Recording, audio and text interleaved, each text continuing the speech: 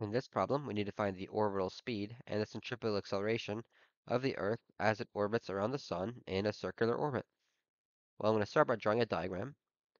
This will be the Sun, and this will be the Earth in its orbit around.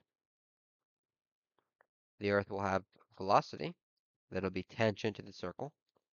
This will be v, and we're solving for this. And that'll also have uh, centripetal acceleration that'll point inward. Be ac, which is also what we're solving for.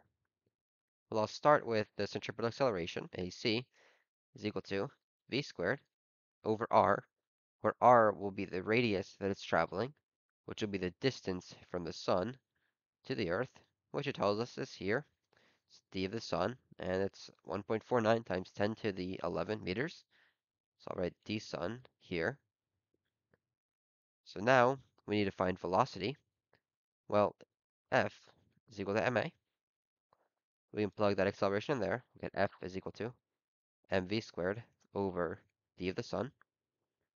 And this uh, force is going to be the gravitational force because it's the only force that's going to be acting on the Earth.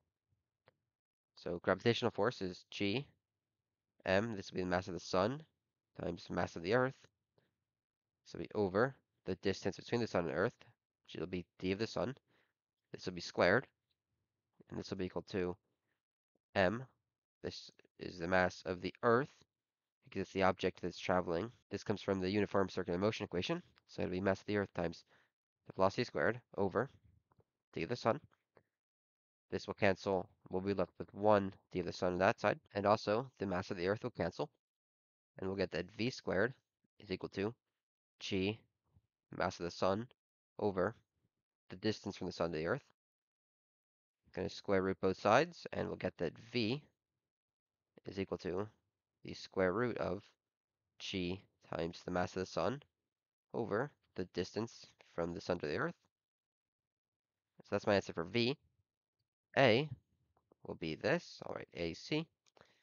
It'll be V squared, which will be the square root of G mass of the sun over distance of the sun.